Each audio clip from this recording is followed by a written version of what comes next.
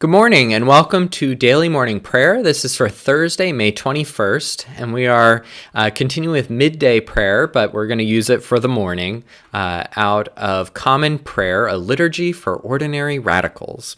Uh, and there should be a uh, PDF or a document that you can open to follow along with the service. If you don't have access to it, you'll still be able to follow along just fine.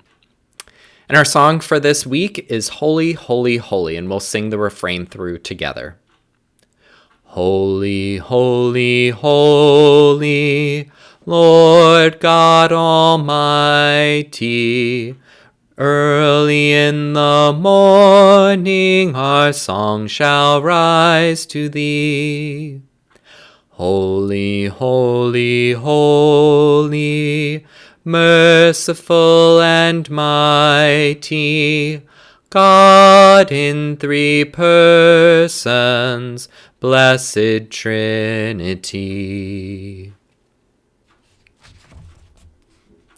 Draw us into your love, Christ Jesus, and deliver us from fear. Lord, make me an instrument of your peace. Where there is hatred, let me bring love. Where there is injury, pardon. Where there is doubt, faith. Where there is despair, hope.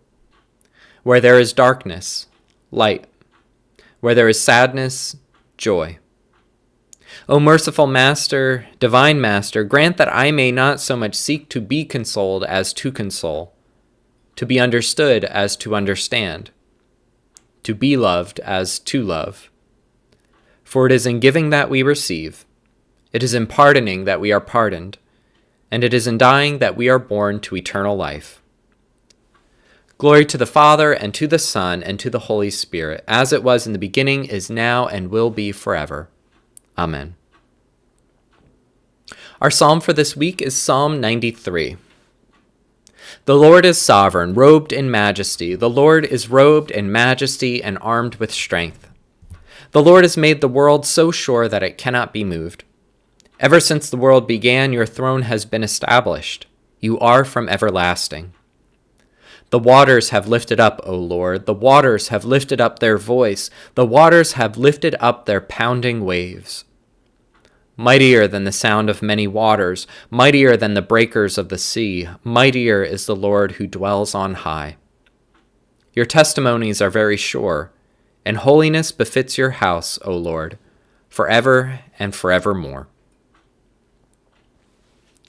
Our reading for this morning comes from the book of Acts, chapter 1, verses 1 through 11. And this is the reading for Ascension. Today is Ascension Day. Happy Ascension Day.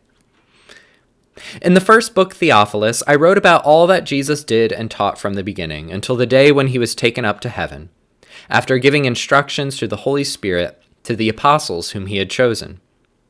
After his suffering, he presented himself alive to them by many convincing proofs appearing to them during forty days and speaking about the kingdom of God. While staying with them, he ordered them not to leave Jerusalem, but to wait there for the promise of the Father. This, he said, is what you have heard from me.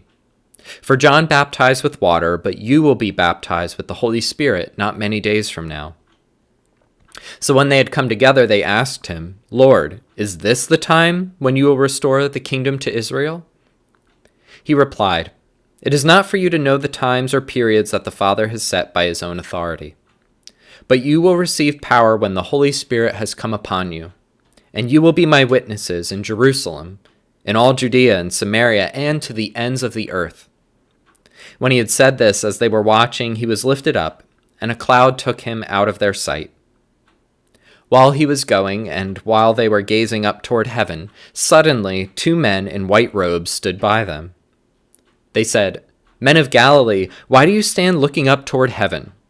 This Jesus, who has been taken up from you into heaven, will come in the same way you saw him go into heaven.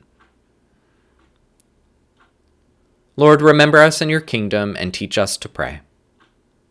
Our Father, who art in heaven, hallowed be thy name. Thy kingdom come, thy will be done, on earth as it is in heaven.